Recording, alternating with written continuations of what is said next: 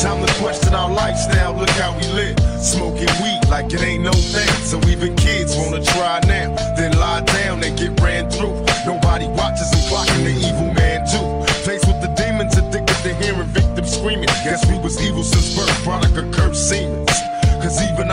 days is crazy.